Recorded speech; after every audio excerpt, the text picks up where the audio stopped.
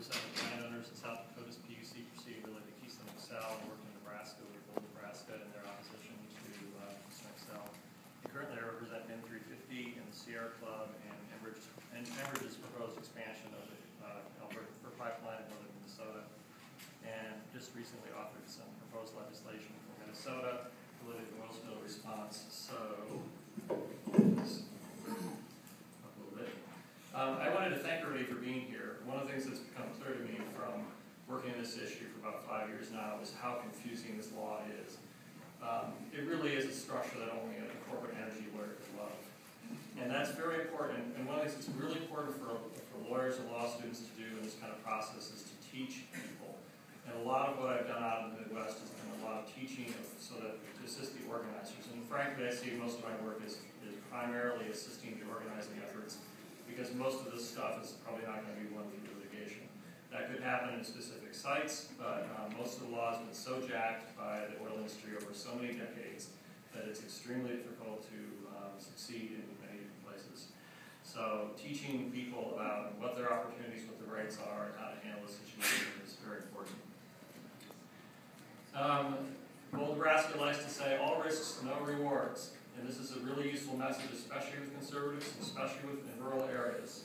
And I know that there's a lot of folks here who work perhaps in more urban settings, but you know these pipelines, these railroads have significant impact, potential for significant impacts, and conservatives um, in rural areas, if, if the right kind of messaging and, and respect and outreach, will work, you know, become very effective advocates um, in opposition to these pipelines, as we'll all see from the efforts in Nebraska. Um, and then we call this extreme oiling. Why extreme? Well, um, you know, the industry is always crying about, we've got all this great ability in the Bakken, and we're doing all this great stuff on the tar sands, and this big equipment, and blah, blah, blah. And people are kind of primed to get that this is not normal oil. And um, it is extremely um, thick and dirty for the tar sands, extremely explosive for uh, Bakken, it's also Deepwater Horizon's extreme oil, extremely deep oil in the Gulf of Mexico, and it's extremely expensive. And I, just be clear to people that this is not our parents' oil. And you know, this is crude oil. People, do people really think of crude oil exploding like this? This is a picture of the black again. You can see the trees. That's a thousand foot plume. And as Anthony said, 47 people got burned to death in a tsunami of napalm, essentially. This stuff is like gasoline. It's orange in color, it's not black. It's extremely explosive for a variety of reasons. You can't think of this as gunky crude, Bakken crude oil. It's not gunky crude. It's, it's more like gasoline. And crude oil goes all the way from the bitumen, the thick stuff and tar sands, to things that are like called natural gasoline. And then there's the oil price. Up in the corner there, that's the tar sands oil price. You can see it's $89, $90 a barrel for a new project um, to get it out of the ground uh, tar or Bakken isn't much behind it. So we're not going to have cheap oil. This oil is never going to be cheap. Because of all the infrastructure required to get it on the ground, all the energy, all the diesel fuel in the Bakken, all the natural gas and um, the tar sands, all the transportation costs and everything else. It's extremely expensive oil. Um, so in terms of the regulatory overview, there's we like to break, like to break this down into the prevention laws, the safety laws, the stuff that keeps the oil in the containers, and then there's the oil spill response laws, and then there's the state laws to siting and zoning. Um, and you can see some of the sites there that, that the response laws, or the, the spill response laws, Oil Spill uh, Oil Pollution Act, which uh, is part of, it's very important to it's part of the Clean Water Act and its own separate law.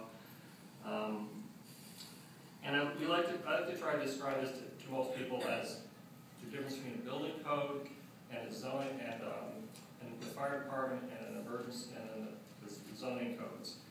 So all the federal laws related to railroad tank cars and um, pipelines and oil tankers and whatever are kind of like building codes. They talk about how to build a pipeline, they talk about how to build railroad tracks, they talk about how to operate them, but they don't talk about where they should go and they also don't talk about how to respond to an oil spill. So industry will come into your communities and they'll say that ah, there's nothing we can do because it's all federally preempted, and that's crap.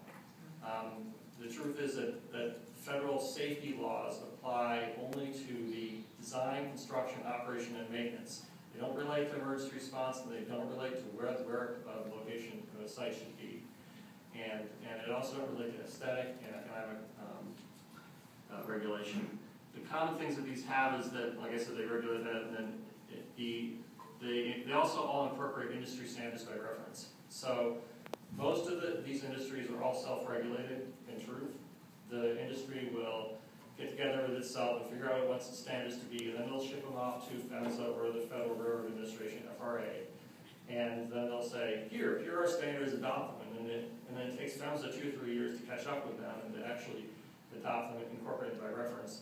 So the DOT one eleven standard was set by the uh, American Railroad Association, what it's called, American Association of Railroads. And uh, the pipeline steel standards are all set by the American, American Petroleum Institute. And one of the more ironic things is that the, the, uh, for pipelines, they're required to do uh, a public communications thing. And it's really, the it's the APA, public communications, how to, how to manipulate the community. And that's all incorporated by reference to federal law. Um, This allows the industry to be self-regulated to a substantial degree. I mean, it's remarkable that really these, the federal regulators are almost entirely reactive and industry sets its own standards. Um, These laws all preempt state laws. Uh, The federal government wants to ensure uniform safety standards. And um, they, they, like I said, they do not regulate economic aesthetic impacts, emergency spill response or location. Um, The federal uh, safety regs for railroads, you can see some of the things that they do there. Basically, anything track design, railroad car design, operations maintenance, crew, passenger safety, blah, blah, blah. All that stuff is regulated by the feds. And you can see, this is a picture of uh, DOT 111s in Minneapolis. About eight oil trains currently go through Minneapolis and St. Paul every day. Uh, This is right along the um, pathway between the two campuses of Minneapolis, of University of Minnesota, St. Minneapolis and St. Paul campuses. And there were about three miles of cars parked that day. I from one end to the other, it's three miles long, and I don't know how many wide, how many tracks were full of cars. Um, hazardous liquid pipeline safety is all by the Federal Hazardous Materials Safety Administration, or PHMSA. Uh, and again, they, they manage the design, construction, operation, and maintenance of pipelines. And then you can see, Ken will talk more about this in, later on, but you can see the uh, preemption language there, but also the fact that they don't regulate safety or um, location. Uh, U.S. Coast Guard facility regs, um, they're, I thought these would be particularly useful for people in the Pacific Northwest because these are the regulations that um, determine how tanker ports are, open tanker ports is operated, maintained, designed, and whatever. And um, so there, there are also offshore platform regs, and there are other kinds of regs too for other, but these are the ones I thought would be useful here. Um, And then the federal spill response laws, this is like the fire department.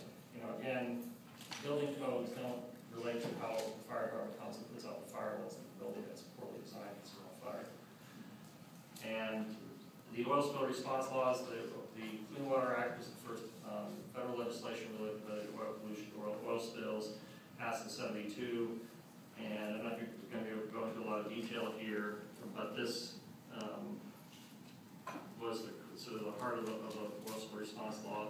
Nineteen eighty-nine, Congress passed the Oil Pollution Act. It amended, it in- included twenty-seven, thirty-three USC twenty-seven oh one, which is separate from the Clean Water Act, but also it amended, um, thirty-three USC thirteen twenty-one J related to, um, the facility response plans. So, That's actually nineteen ninety. Oh, yeah, yeah. Um, the president must approve all facility response plans. You've got VRPs, vessel response plans that are managed by the Coast Guard for oil tankers, and then you've got facility response plans. And the president is required to approve all these plans, and that actually has been found to trigger NEPA, but only in one case down in Texas, Spiller Walker. Um, Thirty-three, so um, where a facility causes significant and substantial harm, then it has to submit a plan to the president. The president goes, through process do that, and, and, uh, it's actually at the president, but anyway, I'll get to another slide here, it talks about that process. Um, and then facilities that don't have an approved plan can't operate. The, the EO, uh, one two seven seven seven executive order divvies up all the response plan requirements between all the different agencies. And you can see here the regs that relate to different agencies. Um, And, uh, let's see. Uh, So, railroad facility response plans,